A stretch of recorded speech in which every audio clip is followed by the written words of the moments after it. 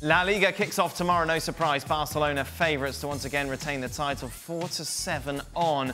Uh, maybe a surprise that Real Madrid are the second favourites, and there's such a massive gap then to Atletico Madrid. That looks like a brilliant bet uh, for Simeone's side. Uh, let's first, though, focus on Barcelona who kick things off tomorrow against Athletic Bilbao. Lionel Messi not announced in today's squad that is travelling to the Basque Country, so it looks like it'll be Dembele, Suarez, and Griezmann up top.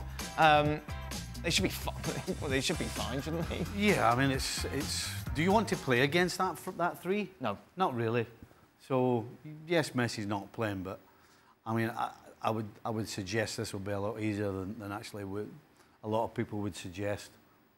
Should be. I mean, if, if that front three are, are, half as good as, as we know they can be or normally are, yes, I, I think they get the win quite easily. But we've We've seen the worst of Luis Suarez at, at, different periods over the last 12 months. Dembele can be a little bit inconsistent, but even then, I, I still think you're, you're, grabbing at straws. I still, I still think it's a little strange that, that, that Busquets and Rakitic have come in for so much criticism in the off-season. I mean, at the end of the day, they, th those two would probably walk into, oh, what, yeah. 80, 90% of the other teams. Yeah. And so, nah. And then you add De Jong to that. Yeah. The six going forward for me, absolutely. This, this, this, will, uh, this will be a victory.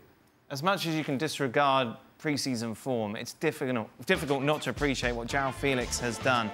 Five games, three goals, four assists. Uh, that's a goal or assist every 36 minutes. It is just the perfect start, isn't it? For a youngster who you've paid a lot of money on, who's come in to replace Antoine Griezmann. You do this and, and set a record for Atleti in doing so. It's impressive, isn't it?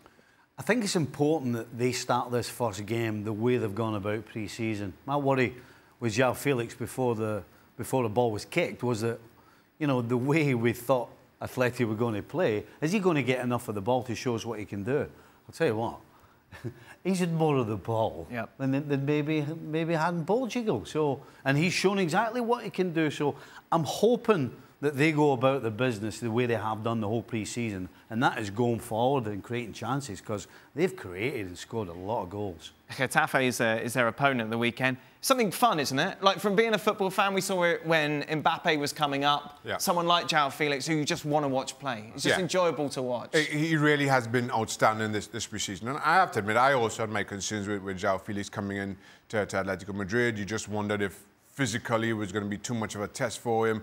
Um, given, given how Atleti normally play. But he's slotted in seamlessly, has been exciting to watch uh, all preseason long. You, you, see it continuing. It looks a new Atletico Madrid. Um, yeah, I, I, see them as, as the biggest threat to, Barcelona at top of La Liga. Well, thank you very much for watching ESPN on YouTube. For more sports highlights and analysis, be sure to download the ESPN app. And for live streaming, premium content, and let's not forget as well, ESPN FC, seven days a week. Subscribe to ESPN Plus.